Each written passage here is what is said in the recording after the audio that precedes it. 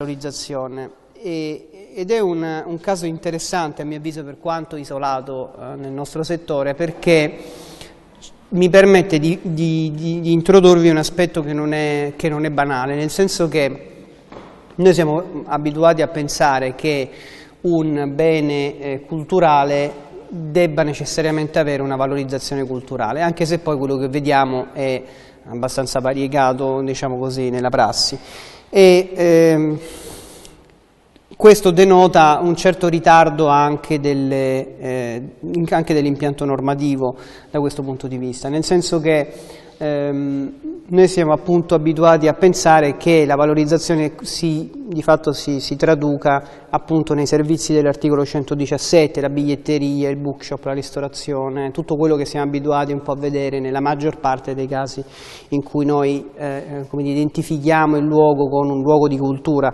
come, chiama, come li chiama il codice dei beni culturali, quindi musei, aree archeologiche e così via. In verità si è fatta strada di recente un'ipotesi alternativa che ovviamente non investe il patrimonio, se vogliamo, maggiore, cioè appunto quello dei musei e delle aree archeologiche, però comunque ehm, opera anche su beni vincolati. Voi sapete che, diciamo così, un bene che supera l'età dei 70 anni, insomma, viene sottoposto in automatico ad un regime di vincolo, in attesa della cosiddetta verifica della parte della soprintendenza che poi confermi eh, quel vincolo ehm, e quindi le motivazioni ovviamente sottostanti. Ora, eh, vi dicevo, ehm, se volessimo semplificare molto le tre fisionomie possibili della valorizzazione, potremmo dire che da una parte abbiamo quella che appunto è la valorizzazione consolidata, diciamo così, culturale in senso stretto, e cioè quella appunto della didattica, quella delle visite guidate, de delle audioguide, dell'editoria,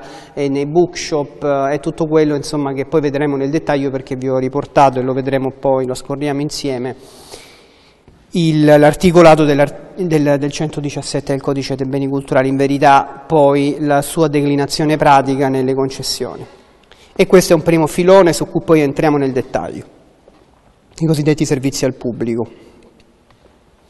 Poi esiste un altro ambito che non affrontiamo nel dettaglio e che potrebbe sintetizzarsi nella valorizzazione di tipo sociale o socioculturale, cioè l'idea che un patrimonio sia soprattutto una mh, risposta a un bisogno di comunità ancora prima di essere dire, un elemento di fruizione estetica o pedagogica da quel punto di vista.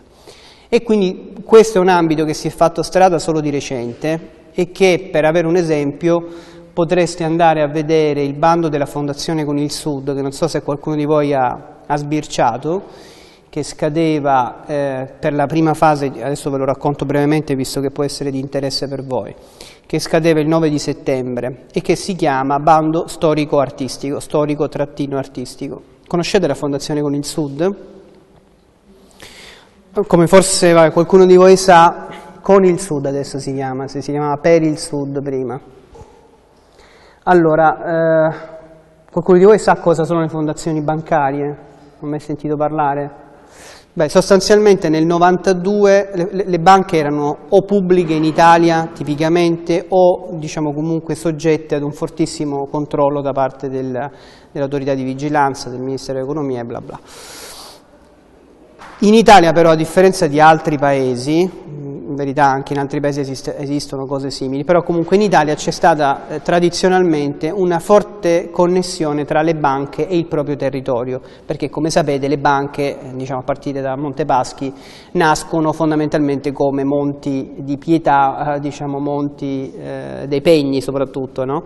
in cui uno lasciava una cosa e pigliava i soldini, adesso per semplificarla così. Ora che succede? Quindi che l'evoluzione delle banche ha portato soprattutto in Italia ad avere una forte connessione territoriale, per cui le banche facevano da banca, ma facevano anche, eh, diciamo così, da enti di sostegno in qualche modo al territorio, non fosse altro perché nella governance, cioè in chi poi svolgeva le funzioni di indirizzo e controllo, erano presenti i rappresentanti delle comunità locali di cui la banca era espressione e quindi c'era un forte radicamento territoriale.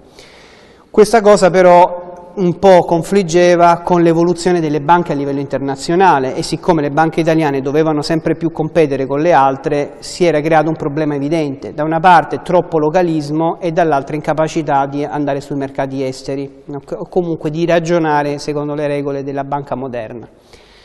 Da lì nasce l'idea che si conclude di fatto nella legge Amato Carli del 92 se non ricordo male, la quale sancisce la separazione delle banche da un soggetto eh, diverso che appunto è la fondazione bancaria che è la proprietaria della banca almeno originariamente. Poi alcune fondazioni hanno venduto la propria partecipazione nelle banche altri l'hanno mantenuta in misura più o meno, più o meno elevata.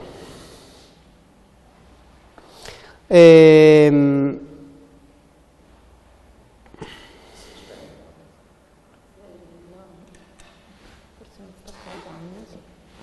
sì, sì. E, ehm, quindi sostanzialmente nel, con, la, con la, la, legge Amato Carli quello che avviene è proprio la separazione di una, come se si, si scindesse in due, no? da una parte quella sezione della, della, ex banca che serve ad avere rapporti col territorio e quindi a, in maniera strutturata a quel punto a sostenere il territorio di riferimento e dall'altra la banca uguale a qualunque banca di tutto il mondo, diciamo per, per, per semplificare in maniera un po' rozza. Questa separazione, che ha, è un tema peraltro a mio avviso pure molto affascinante, insomma, per chi di voi lo volesse approfondire, ha portato quindi ad avere una novantina di fondazioni bancarie che sulla base degli utili che produce la gestione del loro patrimonio, e sono patrimoni spesso ingenti, parliamo, se penso a, a, alle più grosse che sono Cariplo e San Paolo, di oltre 6 miliardi di euro di patrimonio, quindi sono cifre considerevoli. Immaginate quindi la gestione di un patrimonio produce degli utili, quegli utili servono a sostenere le attività sul territorio. Con un problema però, che quando si è realizzata la legge Amado Carli erano già state, eh, e poi si sono peraltro ancora eh, susseguite, si erano già realizzate una serie di acquisizioni dalle banche, con un risultato che vi sintetizza in maniera brutale. Le banche del nord avevano di fatto comprato le banche del sud, che erano tipicamente più piccole e, e mm, spesso mal gestite. Cosa è successo quindi? Che nonostante anche le banche del sud fossero nate con lo stesso principio di quelle del nord e quindi avrebbero avuto diritto ad avere una fondazione del territorio, questo non è avvenuto, almeno non è avvenuto eh, se lo confrontiamo con quello che c'è al nord, per cui la maggior parte, credo era quasi, siamo, uno scherzo, credo che stiamo oltre l'80% delle erogazioni che vengono alle fondazioni bancarie si concentrano al centro-nord. Ok? E questo è un problema, evidentemente. Per rimediare in qualche modo al problema si decise anni or sono, credo ormai 15 anni fa, eh, di costituire una sorta di fondazione delle fondazioni, perché mentre, come vi dicevo, le fondazioni bancarie hanno il vincolo di destinare le proprie erogazioni ad un territorio limitato che è quello di propria pertinenza, Cariplo lo fa a favore delle, delle province lombarde, Plo sta per quello, ok? più vabbè, Novare a Verbania Cusossiola per una questione storica della banca. Eh, intesa diciamo, San Paolo lo fa sul Piemonte, okay? Eh, e così via, insomma ce ne sono tante che operano peraltro con modelli organizzativi tutti diversi perché ci sono vari modi di, di, di erogare sostegno, okay? adesso non mi annoio su queste cose. La Fondazione Con il Sud, per farvela breve, quindi non è una fondazione come le altre che è collegata alla storia di una banca, No, nasce ex novo per compensare il fatto che il Sud non aveva una fondazione bancaria forte. Okay? Eh, per questa ragione la Fondazione con il Sud fa una serie di interventi che trovate su internet, insomma alcuni a bando, altri operazioni bandiere, insomma poi lo vedete, quindi è molto semplice il sito della Fondazione. Tutto questo per dirvi che quest'anno la Fondazione con il Sud ha deciso di, di, di, costruire un bando nel settore culturale con una dotazione minima di un paio di milioni di euro, però comunque interessante, perché, ehm, prego, buongiorno, eh, perché sostanzialmente questo bando, che si chiama bando storico-artistico e trovate facilmente su internet, è stato articolato in due fasi. Allora, tipicamente questo bando veniva fatto così, veniva detto, immaginate, stiamo parlando di una fondazione bancaria quindi privata, e la struttura tipica era, care associazioni del volontariato, cari cittadini, diteci quale bene culturale eh, scegliete e su quello fate un progetto, diciamo così, di eh, recupero per la comunità. Ora, la finalità del bando è rimasta la stessa, però diciamo, abbiamo, perché ho partecipato direttamente alla nuova costruzione del nuovo bando, deciso di impostarlo in maniera un po' diversa, sulla base anche dell'esperienza passata, che aveva evidenziato una serie di criticità. La, la prima e più ovvia, eh, credo che conveniate con me, è che se un'associazione, per quanto rappresentativa di un territorio, dice io mi candido a gestire quel bene, il primo problema è quello che il proprietario del bene, ma è d'accordo?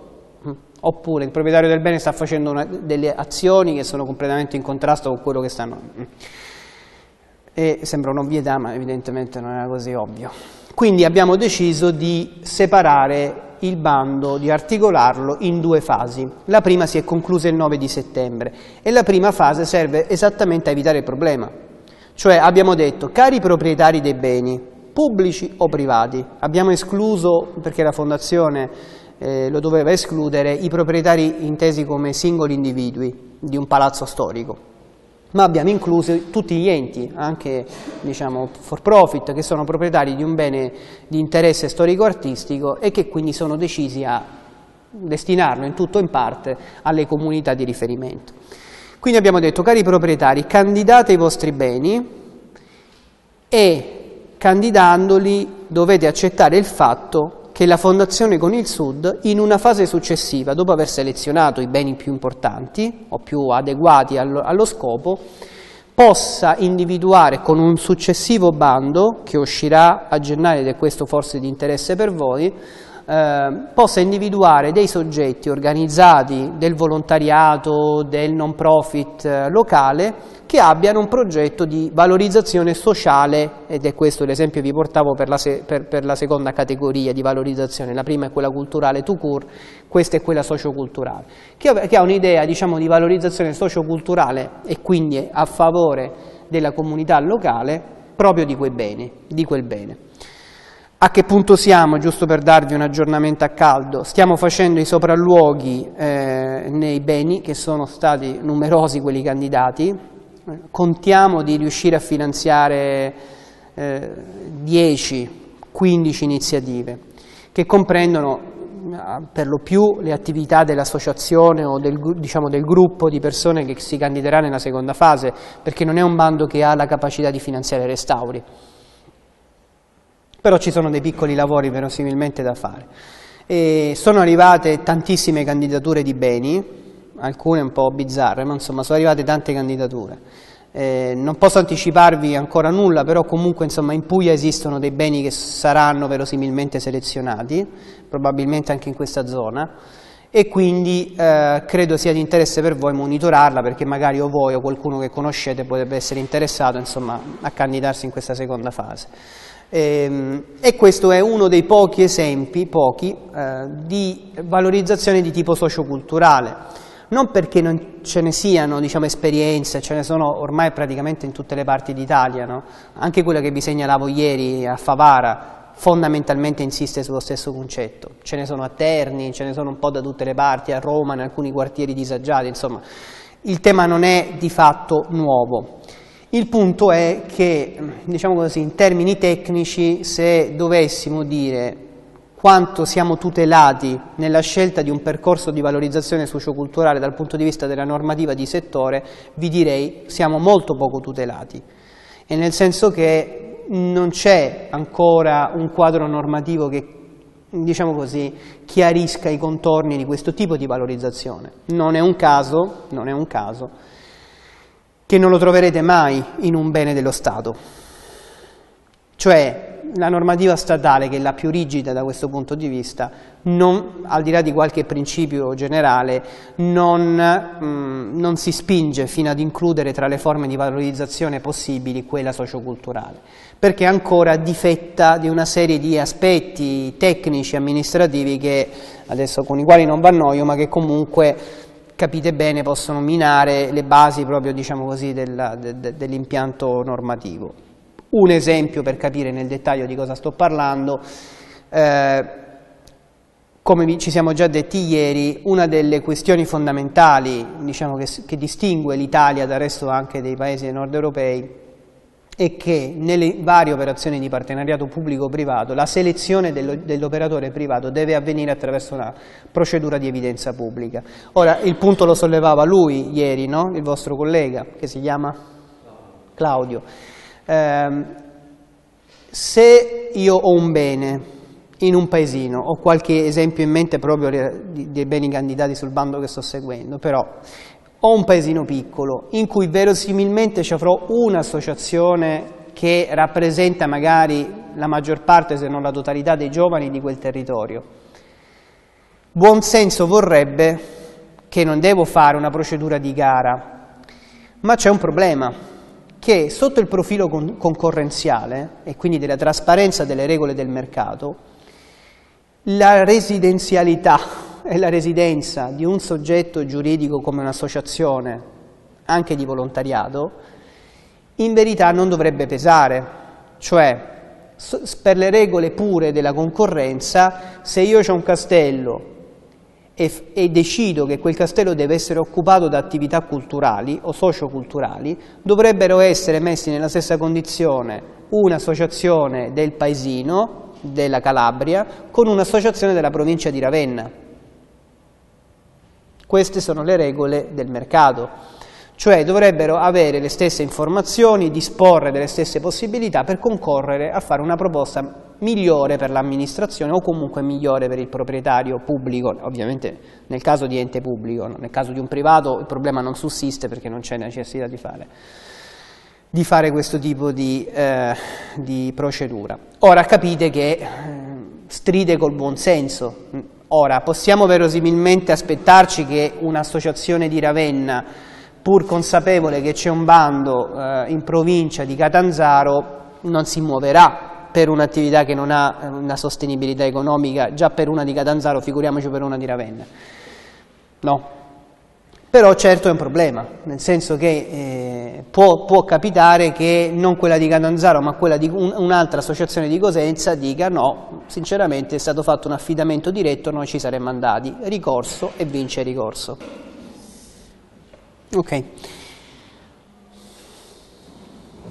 Quindi questo, questo è l'istituto della fondazione di partecipazione, troverete sicuramente tantissimi, non solo esempi materiali, ma veramente tutta la storia che, eh, che, vi ho un po' raccontato, pure con, cioè, a sbirciare bene c'è pure l'episodio di come nasce l'idea di Enrico Bellezza dopo un pranzo con Filippo Daverio nel 92, poi vabbè, gli aneddoti ve li risparmio. Allora, ehm, un'altra delle formule che ha avuto più eh, successo è quella, come vi segnalavo ieri, del consorzio con la particolarità su cui ieri ho insistito un po', non per annoiarvi su questioni diciamo, interpretative, ma perché in effetti quella del consorzio viene ad oggi, a tuttora, considerata una forma di gestione diretta, con le anomalie che ieri vi segnalavo insomma, rispetto a quello che è emerso durante il periodo di vigenza del, dello spending review. Anche in questo caso non mi dilungo, il punto fondamentale del contratto di consorzio è quello chiaramente eh, di individuare in sintesi chi fa che cosa, quindi le responsabilità di governance, di chi ha poteri di indirizzo, di controllo, di vigilanza, poteri invece di gestione diretta e, e questo ovviamente eh, diciamo, ha tutta una sua dire, possibile declinazione da intendersi e da esplorarsi in vari, in vari modi. Non mi dilungo perché, non perché non sia interessante l'istituto del consorzio, ma perché mh, si usa meno, sempre meno si utilizzerà verosimilmente e comunque trovate anche su questo fronte mh, su internet un po' di materiali e capirete che in sintesi è un soggetto eh, diciamo così, che può avere come vi dicevo ieri eh, un'autonomia giuridica perfetta o meno, nel senso che può lasciare i consorziati responsabili separatamente di una serie di oneri o può incorporare tutte le responsabilità all'interno del soggetto giuridico consorzio. Quindi quando esplorerete, se mai lo farete, i consorsi, cercate di osservare questo aspetto non per passione diciamo, di un elemento giuridico marginale, ma per capire poi chi fa che cosa, che poi probabilmente l'interesse che uno ha quando guarda ai soggetti giuridici da quella prospettiva.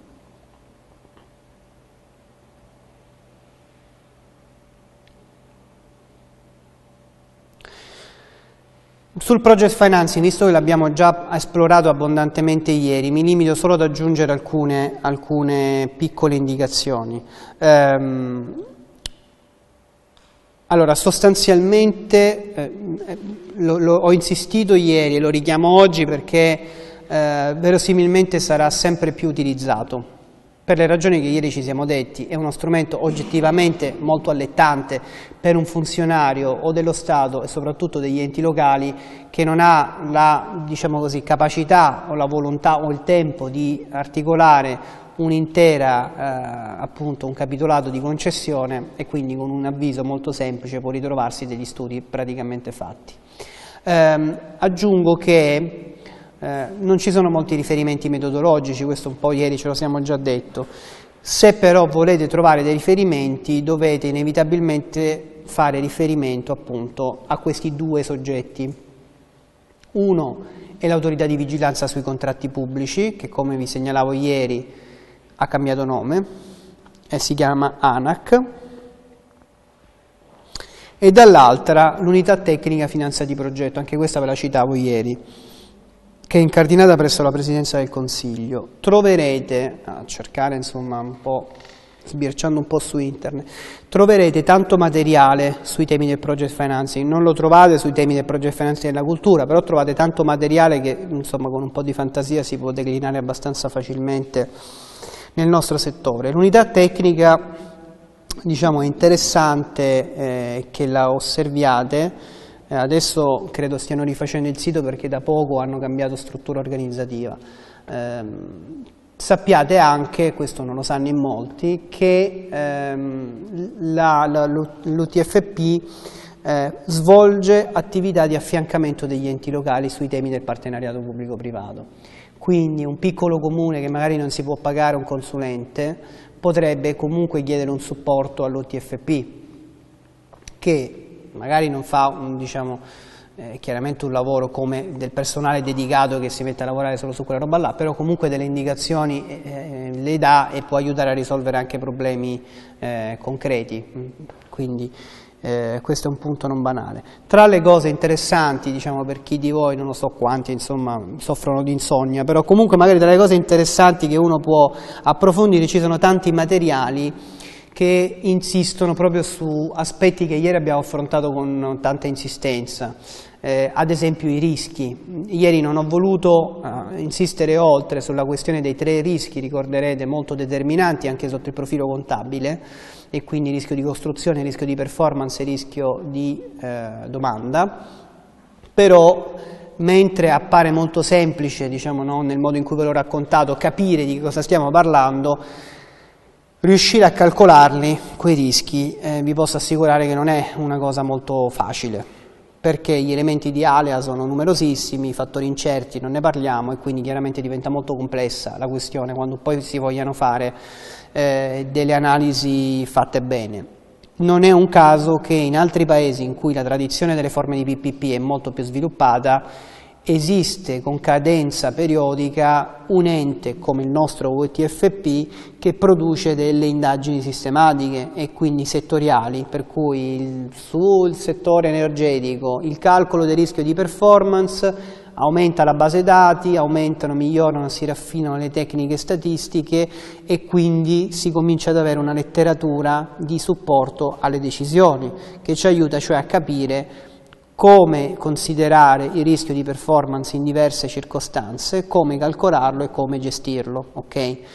È chiaro che l'Italia da questo punto di vista è soltanto agli inizi e quindi è un'area che secondo me avrà grandi sviluppi, diciamo, tutti quelli che conosco e lavorano nel PPP, non nel settore culturale come me, ma in altri settori insomma, stanno facendo un bel po' di soldini ehm, perché è un'area oggettivamente in cui se si osserva l'evoluzione che, che, hanno seguito i paesi che da questo punto di vista sono più avanti di noi, si capisce che ancora per l'Italia c'è un grandissimo, un grandissimo dire, ambito di sviluppo potenziale, insomma. poi vediamo perché eh, come avrete capito da queste chiacchiere tutto dipende dalle regole e dagli incentivi che a livello nazionale vengono effettivamente posti, nel senso che eh, così è un po' per tutto quello che si, diciamo, si affronta in termini di finanza pubblica. Ora, ehm, qualunque sia la forma di cui stiamo parlando, dalle fondazioni ai consorsi, dalle società miste alle, alle concessioni di valorizzazione, dai contratti di disponibilità al project financing, noi abbiamo sempre, sempre, sempre il solito problema, che è quello di misurare ex ante quello che, si, quello che accadrà dopo. E questo è il problema che eh, incontrerete, incontriamo sempre, quotidianamente, e che diciamo, a volte è più semplice di quanto si pensi da risolvere, a volte invece è molto più complicato mh, mm, da, di quanto si pensi. Anche qui la risposta è sempre dipende. Allora, eh, non esistono sistemi di misurazione perfetti e validi in tutte le circostanze e quindi ogni volta che ci interroghiamo in qualunque delle diciamo, circostanze in cui ci si trova bisogna costruire sistemi di misurazione eh, ad hoc. Ehm, diciamo, eh, io ho avuto il, diciamo, il, la fortuna di lavorare su vari, ehm, varie fasi di sviluppo dei progetti e quindi ho imparato che i sistemi di misurazione ovviamente dipendono prima di tutto dall'obiettivo conoscitivo che tu hai, e cioè a che ti serve? E questo è il primo punto, perché se noi siamo i concedenti all'interno di un rapporto di concessione, che è il mestiere che tipicamente faccio io, no? io lavoro per la pubblica amministrazione che, con la quale costruisco un bando, ad esempio, e quindi dal punto di vista del soggetto concedente gli obiettivi conoscitivi sono ovviamente in parte almeno disallineati rispetto alle cose che serve misurare eh, per il concessionario. E quindi chiaramente eh, proviamo oggi a fare una semplificazione perché le, le, le, diverse fattispecie possono essere appunto poi articolate in maniera sempre molto molto diversa, anche a seconda della fase in cui ci troviamo, nel senso che un sistema di valutazione, misurazione e valutazione che debba individuare, come vi dicevo ieri, il promotore in una procedura di project tra diversi concorrenti sarà di un certo tipo. Una cosa diversa è valutare, misurare e valutare quel concorrente che intanto è diventato concessionario dopo tre anni dall'avvio del servizio. Avrò bisogno di informazioni diverse e quindi anche di sistemi diversi. Quindi il punto importante da cui partire e che quindi non possiamo esaurire evidentemente oggi è che esistono varie tecniche di misurazione, varie tecniche di valutazione, esistono varie logiche anche di misurazione e valutazione e tutte dipendono da quello che vogliamo capire. Eh, insisto su questa cosa perché eh, molto spesso mh, vi è capitato, vi capiterà, il problema non è tanto di sofisticazione tecnica o tecnologica, il punto è che manca spesso la domanda mi sembrerà strano, ma molto spesso manca la domanda di misurazione, cioè misuro per quale obiettivo. Ora, se io vi dicessi, foste voi il comune proprietario di un bene come questo e doveste voi misurare la qualità del risultato prodotto da chi lo sta gestendo, sulla base di quali elementi la misurereste? Pare facile, ma non è tanto facile, soprattutto perché molte delle variabili che vi eh, entreranno in gioco non sono così facilmente misurabili, seppure siano, come dire, invece opportunamente eh, considerabili, e non sono probabilmente misurabili in autonomia, perché magari uno dei temi che vi troverete di fronte riguarda la soddisfazione del pubblico che entra, non lo so, magari, da un certo punto di vista. E quindi il vero problema o la vera complessità dei sistemi di misurazione, che però è fondamentale per capire come costruire un'operazione di partenariato pubblico-privato, costruirla e saperla dire, gestire in, nella sua evoluzione, che è il punto forse più complicato, perché fino a farla partire sono buoni tutti, con un buon avvocato diciamo, si riesce fondamentalmente a farla partire, ma gestirla e farla crescere, che è uno dei problemi che l'Italia ha, il problema dell'Italia è che non esiste un'imprenditoria culturale anche per l'incapacità degli enti pubblici di saperla guidare, come invece avviene in altri settori. Guidare non vuol dire vincolare, vuol dire impostare correttamente un rapporto di sana, diciamo così, dialettica tra parte pubblica e parte privata. Ed è un tema che passa, mi verrebbe da dire in maniera prevalente, dai sistemi di misurazione, controllo e valutazione. Come vi dicevo, un approccio, come dire, i due approcci che sono un po' i poli delle, del come si può fare questo, sono l'Italia da una parte e il Regno Unito dall'altra. Sono proprio agli antipodi dei sistemi di misurazione e valutazione nei rapporti di pubblico e privato.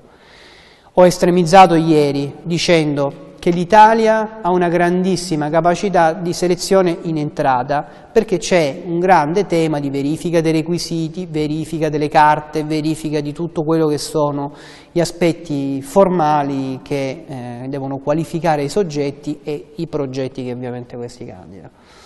Con una scarsa purtroppo attenzione proprio a quello che vi dicevo, ai risultati prodotti. Perché?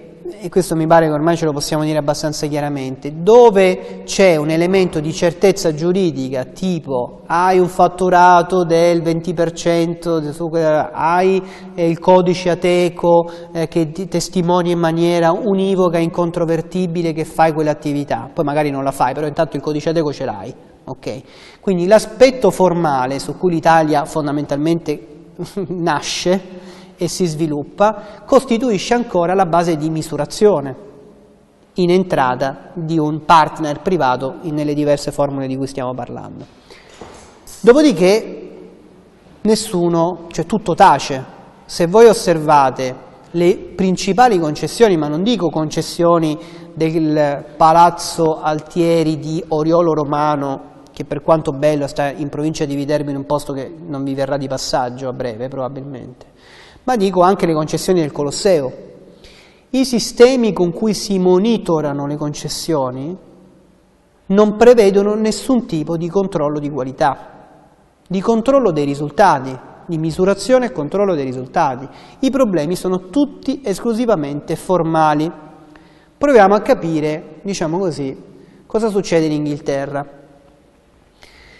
Anzi, per fare un esempio che mm, spero vi rimanga impresso e vi faccia capire le distinzioni, vi porto eh, l'esempio diciamo, dei sussidi all'abbattimento delle barriere architettoniche per i musei. Allora, siamo in Italia. Se io devo dire ehm, a Tiziana per quest'anno abbiamo individuato un budget di X milioni di euro che permette a vari soggetti, tra cui Tiziana, di candidare una proposta per l'abbattimento delle barriere architettoniche nel suo museo.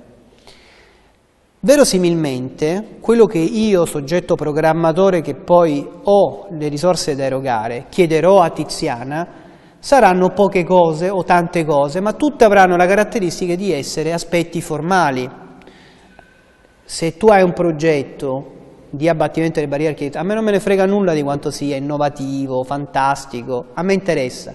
Ce l'hai il definitivo, ce l'hai l'esecutivo, l'hai portato ad approvare la soprintendenza, hai avuto i permessi che servivano? Perfetto. Secondo, ad esempio, fronte su cui chiederò notizie eh, a Tiziana. I soldi che ti ho dato l'anno scorso per abbattere le barriere architettoniche, me li hai rendicontati in maniera formalmente corretta? Sì, ti ho portato le ricevute, poi cosa c'è in quelle ricevute a volte non viene particolarmente controllato, ma diciamo così, a parte nell'ambito della programmazione comunitaria dove esistono i controlli di primo e secondo livello, ma lasciamo perdere questo particolare. Quindi il tema sarà caratteristiche del soggetto, il codice ateico cose di questo tipo qua, e caratteristiche della rendicontazione. Faccio due esempi banali, ma così ci capiamo su cose concrete. Andiamo in Inghilterra. Siamo nella stessa circostanza. È una linea di finanziamento che era già attiva negli anni passati, viene rifinanziata la linea di finanziamento, si apre la possibilità per i musei di chiedere il finanziamento per abbattere le barriere architettoniche. La domanda sarà, con i soldi dell'anno scorso, quanti nuovi disabili sono entrati nel tuo museo? Punto. Se non ne sono entrati di più, non ti meriti nuovi soldi. Ok? È un modo, come capite, completamente diverso di ragionare, perché si fonda intanto su un concetto di fiducia interistituzionale, nel senso che esistono i controlli, esistono le verifiche, ma stiamo parlando sostanzialmente di un dato che se venisse impostato così in Italia, immaginate la furbizia italiana si inventerebbe di tutto per dire che sono entrati tutti i disabili che esistono nella provincia probabilmente, no? Però, al di là diciamo, degli aspetti paradossali, capite che un'impostazione dei sistemi di misurazione è del tutto diversa. La scelta di una controparte privata, quindi, fondata sui risultati e non sui requisiti, cosa che non è assente nel Regno Unito, ma è un elemento, se vogliamo, non prevalente rispetto ai risultati che si producono, che è peraltro il sistema con cui si regolano non solo i rapporti tra pubblico e privato, ma come nell'esempio che vi dicevo, i rapporti tra ente pubblico ed ente pubblico. Se voi andate sul sito del Victoria Albert Museum o sul sito della National Gallery che sono finanziati dallo Stato, sostenuti dallo Stato, voi dovreste andare a cercare il funding agreement che è l'equivalente di quello di cui abbiamo parlato ieri, il contratto di servizio. Ora, se voi leggete un contratto di servizio italiano e lo paragonate ad un funding agreement inglese, vi viene purtroppo da piangere, ma non perché quello italiano non sia bello e sofisticato, perché quello italiano, cioè, vi dovete mettere accanto un avvocato che vi spieghi cosa c'è scritto, perché è scritto, è scritto esattamente in maniera formalmente ineccepibile, c'è scritta qualunque fattispecie, il ritardo produce un pagamento di una sanzione di 100 euro dopo il quinto, tutto c'è scritto. Poi vi sfugge la sostanza delle cose, ma intanto c'è scritto. In quello, e quindi tipicamente se prendete un contratto, non voglio fare nomi, ma se prendete un contratto di servizio di un ente pubblico a favore di una sua, sua controllata, con 20-25 pagine, se siete, se siete fortunati, riuscite a capire la pluralità dei requisiti posti e delle cose che si misurano. I funding agreement dei due musei che vi ho citato, che spero conosciate, sono stupendi, sono di due pagine una mi pare quella del, del Victoria Albert Museum. Dieci indicatori sulla base dei quali io voglio capire, sta entrando più gente, sta entrando più gente del posto, la qualità registrata attraverso un sistema che tu ti devi inventare ma che io ti devo approvare rispetto alla qualità del ristorante e dei servizi complessivamente resi al pubblico. La soddisfazione del pubblico deve essere crescente, è fatta da valutatori indipendenti. È tutta una serie di 10-15 punti quelli sono il funding agreement. Ma voi ve lo immaginate una cosa del genere in Italia, in cui cioè un ente pubblico si, pro, si preoccupa della qualità del cibo all'interno di un museo? Noi se, il punto fondamentale è che devi essere fortunato che il concessionario decida di fare appunto un ristorante, una ristorazione di qualità, ma se volesse non farla avrebbe la capacità di poter avere una correttezza formale delle carte e continuare a produrre cose schifose all'interno del ristorante, ma per un semplice motivo, che voi ve lo immaginate il, diciamo, il responsabile del controllo che anziché guardare le carte, che ovviamente è il lavoro più semplice del mondo e soprattutto è quello formalmente ineccepibile, senza interpretazioni, no? Io, se una carta mi manca, il funzionario dice perfetto, manca una carta, come fai a, a dibattere di quel punto? È un tema formalmente perfetto per essere portato a motivazione di un'esclusione o in generale di una valutazione. Diverso è il caso in cui tu, come fa il responsabile della qualità dei servizi della National Gallery che ho conosciuto, ogni giorno scende, vede come sono messi i tavoli, controlla i prezzi, vede la soddisfazione delle persone, assaggia, eh, verifica attraverso ad esempio sistemi di mystery shopping, cioè manda gente che non ha il cartellino del valutatore e dice vatti a mangiare queste robe qui e dimmi come, si, come sono. Ve le immaginate? Se fosse impostata così in Italia, alla prima valutazione che produce una decurtazione del finanziamento ci sarebbe la schiera di avvocati che dice no, ma il, quello che ha fatto il mystery shopping ha il fratello che lavora in un altro concessionario che ha avuto una gara contesa con quello lì dentro, quindi ha fatto una valutazione peraltro, ehm, peraltro discutibile perché fumava fino a sei mesi fa. Cioè, in Italia sarebbe impossibile avere un sistema di valutazione reale. Quindi, quando parliamo di sistemi di misurazione, al di là delle questioni che adesso io vi dirò, bene, tenete bene in mente il fatto che siamo in Italia e quindi chiaramente il 90% di quello che sarebbe una buona valutazione non si può tecnicamente fare. Okay? Quindi questa è la premessa fondamentale di ottimismo che vi voglio trasferire, soprattutto perché da dieci anni lavoro in questo campo e quindi ho capito che non si riesce a fare. Detto tutto ciò, proviamo a capire come si fa la misurazione e vi troverete sempre di fronte ad un dilemma, oltre a quelli che vi ho già detto, cioè dell'obiettivo conoscitivo. Misurare per cosa? Per dare un incentivo, per programmare, misurare per capire, insomma tutte le cose che ci siamo detti. Esistono vari, vari, modi con cui si può eh, scomporre un rapporto pubblico-privato. Il primo e più fondamentale è ovviamente quello di capire quali sono le funzioni che rimangono in capo all'ente pubblico e quelle che vengono in qualche modo delegate attraverso uno strumento di concessione o perché vengono esternalizzate ad una fondazione di partecipazione che si dovrà occupare appunto dell'amministrazione o si dovrà occupare della didattica o chissà di quali altre cose. Ed è per questo che tipicamente noi facciamo, noi consulenti, ma le, le, diciamo in generale la buona amministrazione dovrebbero fare ricorso a dei modelli, cioè a dei, diciamo così, delle schematizzazioni funzionali o di vario tipo che ci permettono di scomporre un problema molto grosso in una serie di problemi più piccoli e più facili da gestire.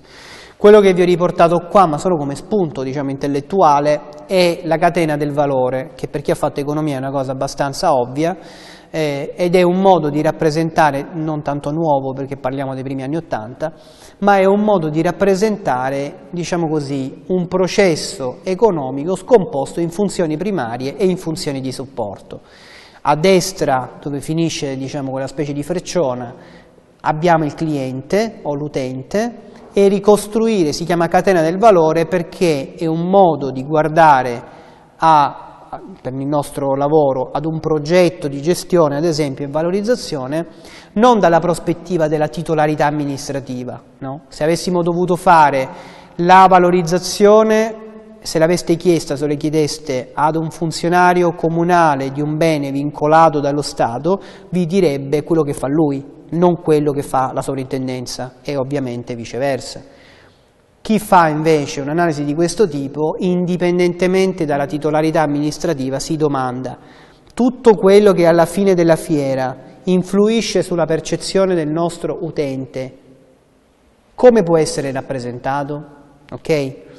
È importante che per voi questo sia un esercizio intellettuale perché eh, di fatto poi per un consulente è una cosa ovvia, cioè noi magari facciamo bella figura su cose veramente ovvie, ma perché c'è un'abitudine appunto dovuta dalla struttura amministrativa italiana per cui ognuno pensa soltanto alle cose di cui è competente. Sto lavorando alla costruzione del primo sistema di accreditamento dei musei in Sicilia che è una regione a statuto speciale dove eh, di fatto non ci sono beni dello Stato, a parte archivio, degli archivi. E la regione dispone invece di tanti musei suoi proprio, i propri servizi, cioè unità periferiche. Però in Sicilia esistono anche altri musei, degli enti ecclesiastici, dei comuni, delle, delle associazioni, di privati, insomma esistono. Quando abbiamo cominciato a lavorare al sistema di accreditamento, spiegando che in tutte le regioni i sistemi di accreditamento servono a valutare tutti i musei, indipendentemente dalla proprietà.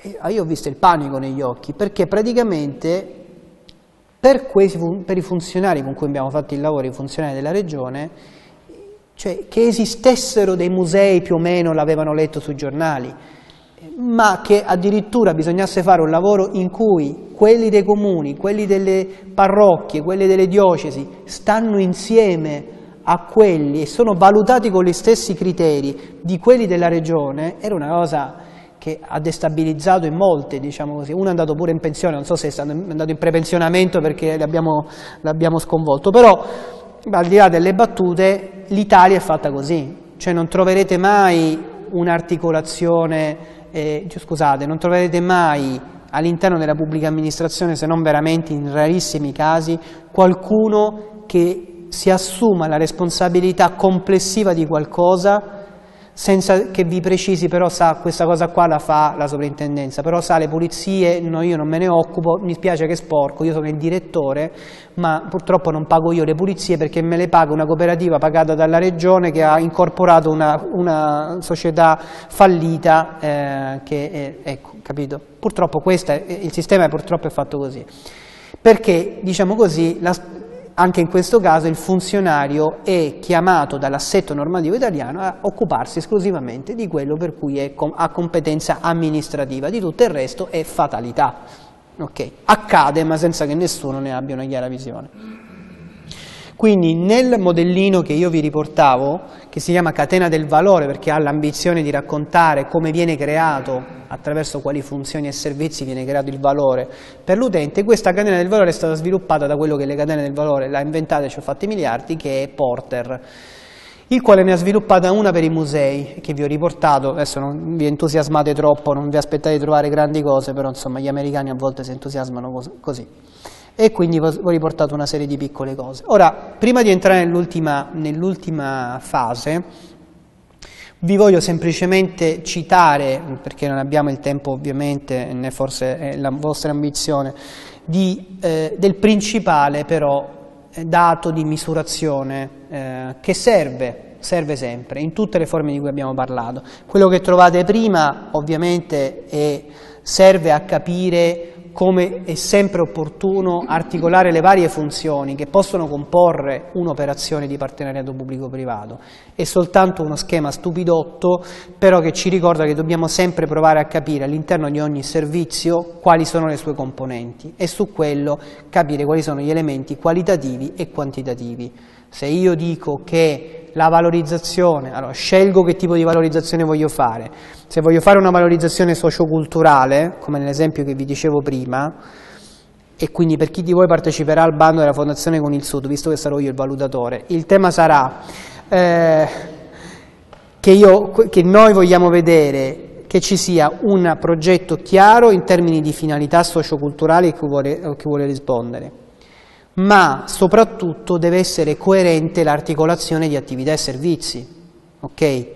Sembra una banalità, ma il 90% dei progetti che si bocciano, si bocciano perché uno scrive delle finalità meravigliose che magari ha trovato pure sul libro, ha detto, poi mi mette sempre l'analisi di contesto che io non ne posso vedere più, la SWOT che è veramente una cosa che mi fa più vomitare, perdonatemi, quando le vedo su, sui progetti. Quindi poca tecnicalità di quella manualistica, non servono cose sofisticate, né tantomeno serve incasellare le cose in maniera appariscente, serve un processo di decisione e di ragionamento lineare, cioè se io voglio lavorare con gli anziani, perché ho capito che quello è il, è il punto, se io voglio trasformare un'ala di un museo in un luogo che diventa un centro di creatività per i giovani, prima di tutto devo aver capito qual è, stato, qual è il bisogno a cui rispondo, perché noi lo diamo per scontato, ma a volte il bisogno sta nella testa di chi ha già la proposta, dice no aspetta mi invento un bisogno, no, o il bisogno esiste, io diciamo nell'ambito del master del Sole 24 Ore dove insegno, seguo un modulo di start-up,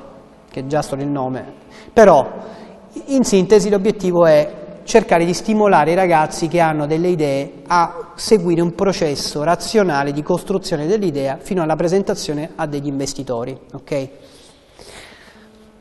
Finalmente quest'anno siamo riusciti a far capire a questi ragazzi che devono prima di tutto fare una diagnosi dei problemi a cui intendono rispondere. Qualunque idea imprenditoriale, anche di imprenditoria sociale, deve avere chiaro il punto in cui atterra, quale bisogno, a quale bisogno risponde.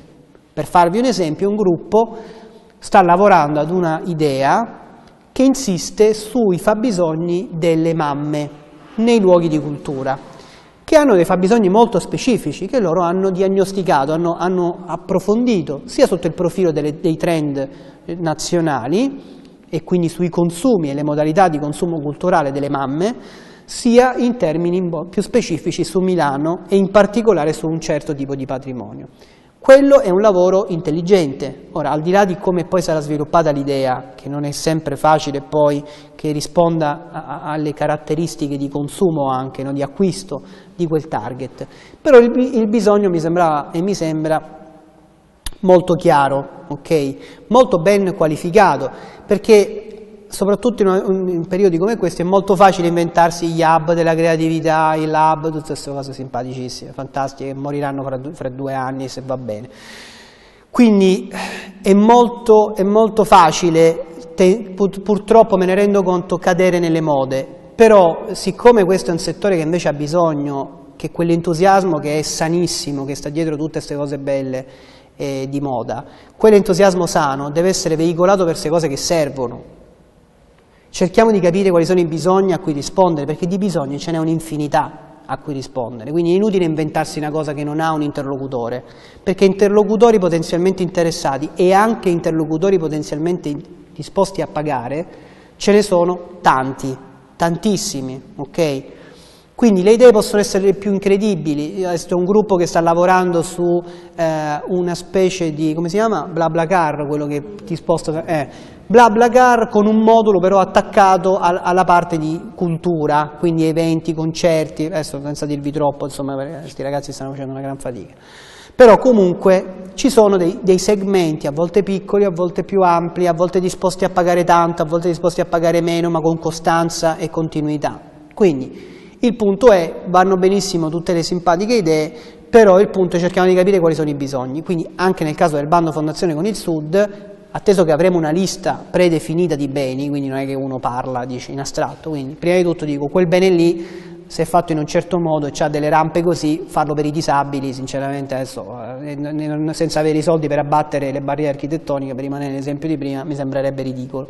Facendo una cosa coerente con il posto, ma soprattutto capace di rispondere ai bisogni comuni che uno deve avere chiari, non deve fare un'analisi sofisticata e non deve fare una SWOT, deve capire concretamente che cosa c'è lì, cosa si muove, quali possono essere i bisogni a cui rispondere, bisogni attuali o bisogni che stanno per nascere. Questo è il ragionamento che va fatto. Quindi al di là dei modellini, provare a ragionare in questi termini. Tutto ovviamente si regge su un'idea di sostenibilità, non solo nel bando della Fondazione con il Sud, ma in generale una delle cose più complicate per chi di voi voglia provare a portare avanti un'idea imprenditoriale, ma anche per chi di voi si troverà ad aiutare un ente pubblico o un soggetto privato nel portare avanti un'idea, la parte più complicata è la sostenibilità, che non è soltanto la ricerca di soldi. La sostenibilità è la individuazione di una formula di funzionamento. La formula di funzionamento è fatta di tre cose. Il mercato e se io non ho capito prima i bisogni non troverò mai il mercato di riferimento, perché vagherò alla ricerca di qualcuno che paga per un servizio che io ho costruito solo perché ce l'avevo in testa e mi è sembrato il servizio più bello del mondo. Non funziona così, anche nell'imprenditoria sociale. Il mercato. Il secondo tema è il prodotto, che deve essere perfettamente coerente con quel mercato, prodotto o servizio evidentemente. La costruzione di un prodotto o servizio non può essere, anche in questo caso, il frutto di una bella intuizione. Deve avere capacità di essere coerente con i fabbisogni del mercato, che è il punto di partenza di qualunque idea. Non che uno non possa avere un'intuizione su un prodotto, eh? attenzione. Io, io, sono convinto che le buone intuizioni, se vengono da una persona che su quel, diciamo, su quel contesto ha letto e incuriosito, sono mediamente buone. Però hanno bisogno di uno sforzo, che non è, badate bene, non comprate libri sulle start-up, non, non, spendete soldi su cose di questo tipo qua, non, veramente non servono, serve semplicemente essere razionali, razionali e studiare. Prodotto e mercato devono essere perfettamente coerenti tra di loro e questa coerenza determina il successo del, del, diciamo, di quello che, che avete in mente. Ma c'è un terzo elemento che non è banale, che è la struttura organizzativa. Cioè questi tre punti devono essere tra di loro perfettamente, perfettamente allineati. Questo fa la formula di funzionamento. Se avete una grande struttura fantastica con grandi competenze, ma non riuscite a trovare il mercato di riferimento, frustrazione. Ok? Se avete uno, una grande intuizione di prodotto, ma non riuscite a trovare una buona struttura organizzativa, vi, vi prenderanno l'idea, verosimilmente. Okay? Se non avete mercato, quello è il guaio peggiore. Se non avete mercato, è il guaio peggiore. Perché capire qual è il mercato a cui vi rivolgete è il punto fondamentale per qualunque tipo, qualunque tipo di iniziativa che sia imprenditoriale profit, che sia non profit, eh, che sia volontaristica, dovete capire a che servite. Questo è il punto fondamentale. Vai.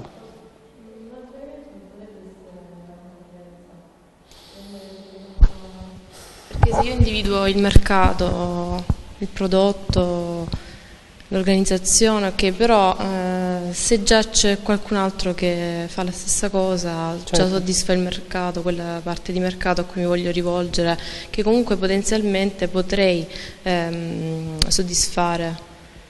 Però se qualcun altro già lo cioè, fa, giustissimo. quindi dovrei infatti, individuare anche chi... Infatti in questo modulo che, modulo che insegno e che secondo me se proprio un libro lo volete comprare, uno che costa poco, se ancora lo pubblicano, e... Eh, come? Come costruire un business plan di Cinzia Parolini, edito da Paravia. È un libricino piccolino, con copertina rosa shocking come, come era vestita lei quando veniva a farci lezioni all'università, molto brava, e dove trovate esattamente i tre punti che vi ho citato. In questo triangolo della formula che chiama lei imprenditoriale, Cinzia Parolini si chiama, in questo triangolo, tutti diciamo, i lati di questo triangolo si aprono per dire quello che va studiato ovviamente fra i tre nodi e la concorrenza è ovviamente uno dei punti. Sono 20-25 punti, quindi chiaramente oltre alla concorrenza ci sono mille altre cose che vanno studiate, la disponibilità a pagare, è ovvio che quelli sono tutti gli elementi da studiare, ma i punti che devono essere chiari dopo aver fatto tutte le analisi che sono necessarie, sono quei tre che vi ho detto. E io diciamo che in aula non ero molto convinto del modello imprenditoriale che ci veniva raccontato, col tempo ho capito che quei tre punti sono proprio fondamentali, cioè sono proprio fondamentali. Se uno non ha chiaro il mercato gira a vuoto per anni, veramente per anni. Io ho visto ragazzi purtroppo anche bravi e anche che ci hanno speso soldi eh, girare a vuoto. E girare a vuoto perché non c'era un bisogno di partenza, cioè l'idea era fantastica ma nella loro testa era stupenda, ci hanno trovato pure i soldi, hanno messo su una struttura organizzativa perfetta per quel prodotto, ma non c'era un mercato. E quindi, per carità, se uno ha i soldi da spendere perché lo vuole fare come divertimento è perfetto, ma se ha l'ambizione di rivolgersi a qualcuno che è diverso da quelli che condividono con lui l'idea, deve capire chi sono, che faccia hanno, quando comprano, eh, deve capire un sacco di cose che non sono analisi necessariamente sofisticate. Eh. Mm, cioè nel senso quando io fondavo le associazioni culturali, quando stavo giù da me in Sicilia, per capire le cose che mi servivano andavo io, capivo, chiedevo, cioè facevo cose, domande stupide, senza grosse tecniche e quindi insomma quello è quello che serve più o meno, insomma non è che servono grandi cose. E adesso non so bene come costruiremo il format della domanda per Fondazione con il Sud, però qualunque sia il format, diciamo così, io e le persone che con me insomma, faranno questa roba qua, valuteranno la bontà dell'idea, quindi è ovvio che non è che deve essere un'idea semplicemente tecnicamente costruita bene, se no tutti i consulenti farebbero ovviamente gli imprenditori. Serve una bella idea e quella la, deve essere una bella idea coerente con un bisogno che magari scovate solo voi, no? Che non è una di quelle cose trite, ritrite, per cui ogni volta la creatività, sempre solite cose, no? Perché sono vent'anni che facciamo incubatori creativi, io mi ricordo che ero al liceo quando, face, quando facevamo, io ero rappresentante di istituto e facevamo gli incubatori creativi. Era un'idea vecchia secondo me già allora, per come era impostata. Poi ce ne sono di cose funzionanti, ma alla fine se l'incubatore è quattro, mettere quattro stanze con l'affitto calmierato, sinceramente tutta questa grande idea, posso capire che abbia senso, ci sono contesti in cui ha senso quella roba là, perché tu hai fatto un'indagine, hai visto che c'è un bacino universitario, un bacino di scuole di formazione, che può avere senso se poi lo costruisci anche in maniera moderna, no? Però farsi entusiasmare perché hai messo quattro persone insieme in un affitto, sinceramente io tutte queste cose vanno a fare i convegni pure su queste cose. Mi sembra, poi non lo so, io sono un po' alla matriciana da questo punto di vista, non mi faccio molto entusiasmare dalle etichette, però magari so io fatto male da questo punto di vista. Allora vi dicevo, eh, Prima dell'ultimo blocco in cui costruiamo insieme diciamo, come è fatta la concessione, ehm, ce la facciamo? Sì, perfetto.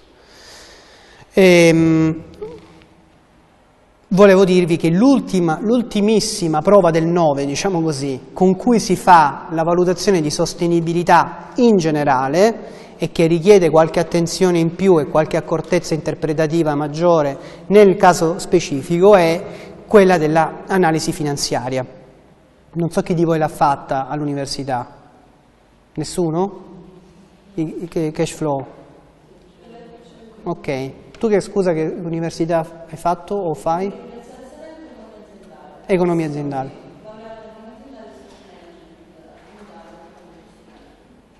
Ah ok, quindi perfetto. Sai di cosa stiamo parlando. Allora, Ah ok, non avete mai fatto?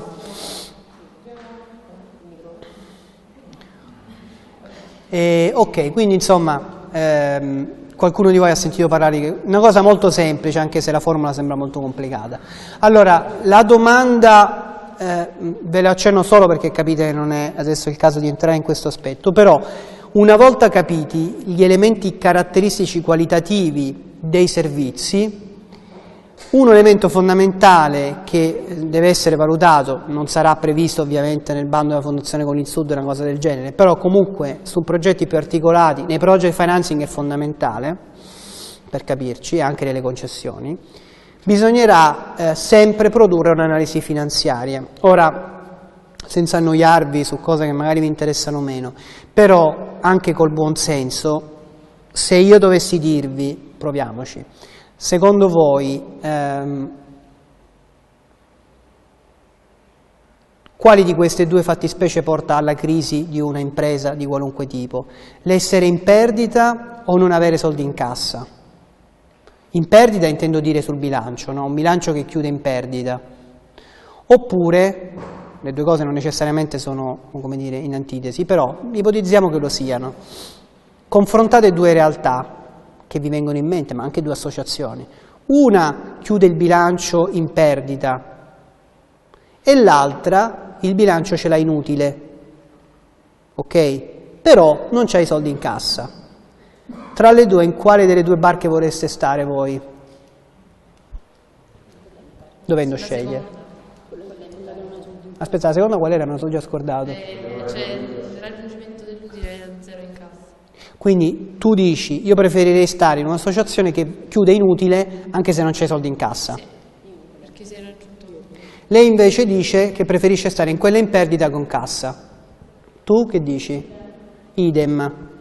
Quindi sospetto che se quella di laureata in economia aziendale dice idem comincia a... Va bene, esattamente quella. Perché, semplificando in maniera molto grossolana, insomma, speriamo non mi senta il mio professore di finanza, però...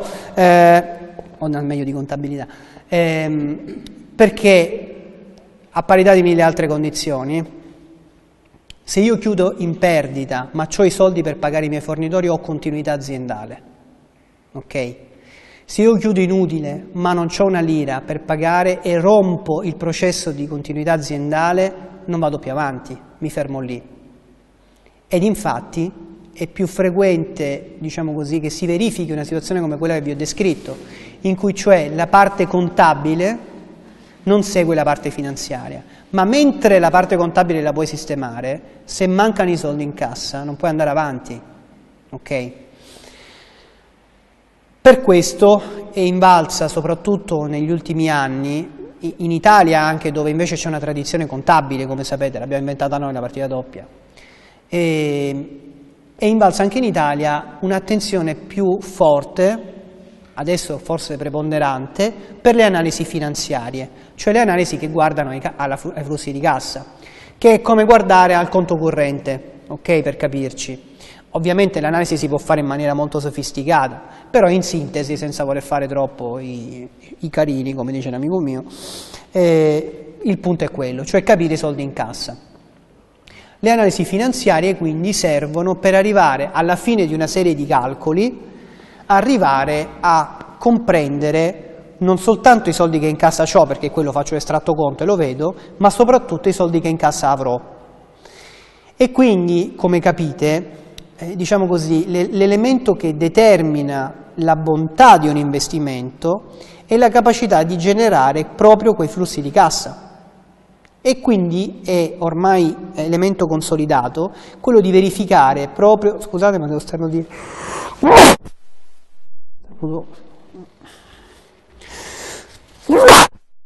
stamattina quando sono uscito dalla doccia era andata via la luce e non c'era il phone, quindi scusate. Questo è un particolare che in streaming di solito spacca come, come informazione.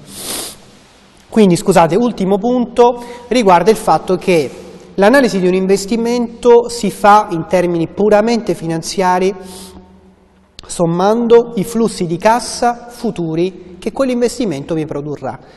La struttura dell'investimento tipicamente come è fatta? Un primo flusso di cassa negativo, perché c'è un investimento da fare, devo attrezzare lo spazio, fare cose così, e poi flussi di cassa, speriamo crescenti, che devo considerare in maniera sintetica, cioè se io vado da un investitore e gli dico guarda che mi sono inventato l'app per risolvere questo problema e gli dico guarda che devo prima fare un anno in cui faccio un investimento e mi servono 50.000 euro, Dopodiché comincerò ad avere un flusso di cassa finale alla fine di, di tutti i costi che devo sostenere di 5.000 euro il primo anno, 15 il secondo, 20 il terzo, 25 il quarto e così via. Quello dice sì sì ho capito ma in sintesi il tuo VAN com'è? Il valore attuale netto o in inglese NPV, Net Present Value, come è fatto? Che cosa esprime questa misura? Questa misura esprime in maniera sintetica e confrontabile con altri investimenti proprio il valore di quell'investimento. E cosa fa, come vedete dalla formula? È semplicemente una somma di tutti i flussi di cassa del mio investimento. Dice guarda, avrò un flusso negativo di meno 50.000, dopodiché pros nei prossimi 5 anni rientro dell'investimento e al quinto anno mi sarò ripagato tutto l'investimento. Ok? Questo è il van, a cui si aggiunge però un elemento che complica la formula e che però ha un fondamento di buonsenso, e cioè, faccio un'altra domandina, secondo voi è meglio avere 100 euro oggi o 100 euro fra 5 anni? Secondo te?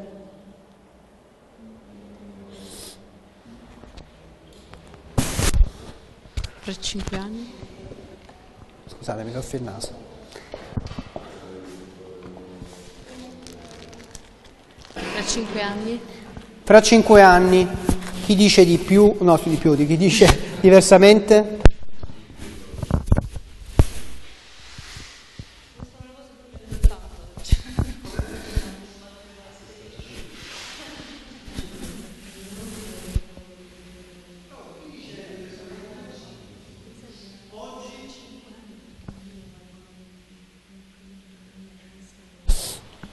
Che dici tu?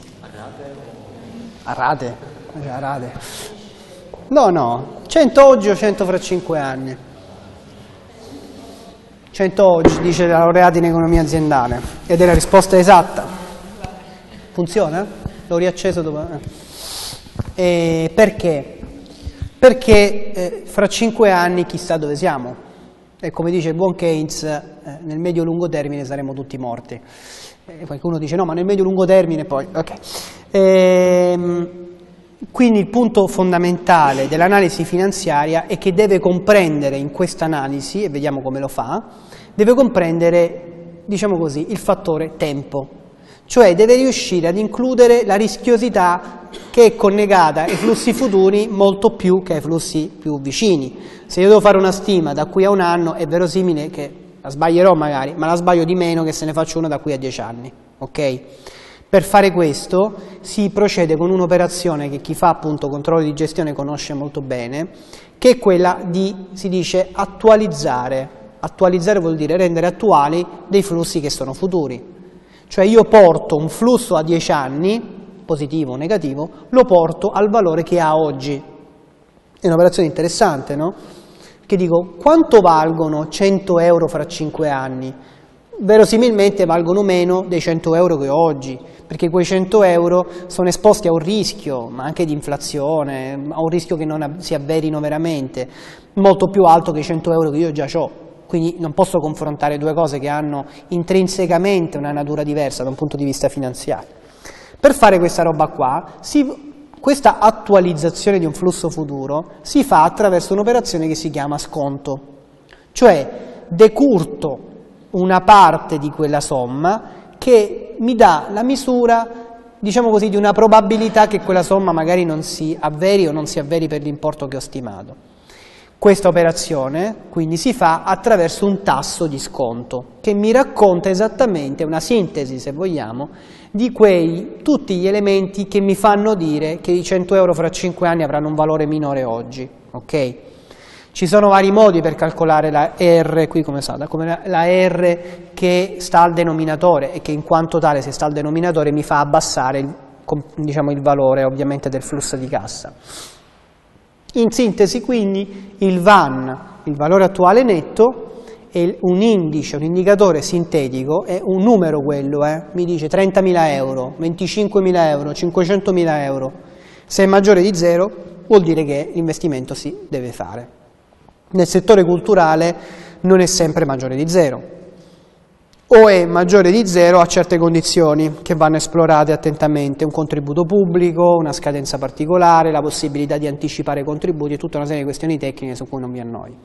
Però se vogliamo concludere diciamo così, un'analisi delle forme di partenariato pubblico-privato dobbiamo tenere conto sia dell'effettiva pluralità di queste forme che vi ho un po' raccontato e che potete ovviamente approfondire, sia dei tipi di valorizzazione che vogliamo mettere in campo, da cui discendono poi gli oneri di gestione, sia della formula, se vogliamo, di funzionamento del triangolo delle tre cose di cui stiamo parlando, chi fa che cosa, e sia della struttura finanziaria che ha dentro tutti i ragionamenti che sicuramente voi avete fatto e che fate quotidianamente, cioè come si fa a gestire bene qualcosa, ma alla fine deve avere un, un indicatore, cioè per chi di voi volesse intraprendere una gestione di qualcosa o volesse aiutare un ente pubblico a fare una buona scelta di un partner privato che gestisca un palazzo, Dopo tutte le considerazioni qualitative che vogliamo, la missione, il progetto culturale, il tipo di attività, la valorizzazione socioculturale, tutte queste cose,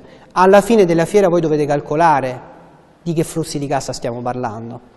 Per un fatto anche legale, il funzionario pubblico, come vi dicevo ieri, deve sempre poter dimostrare di aver fatto la scelta migliore sotto il profilo sì della qualità culturale, ma anche sotto il profilo economico. Se si dimostra che un funzionario pubblico poteva chiedere più soldi ad un privato, pur garantendo al privato la possibilità di remunerarsi, e non lo ha fatto, quello è danno erariale, cioè il funzionario ci deve mettere i soldini suoi. Non so se è chiaro. Come arriviamo a questa roba qua? Lo vediamo dopo la pubblicità, facciamo una piccola pausa. Perfetto. E arriviamo all'approfondimento, che è l'ultima parte di questo supplizio a cui vi siete sottoposti volontariamente.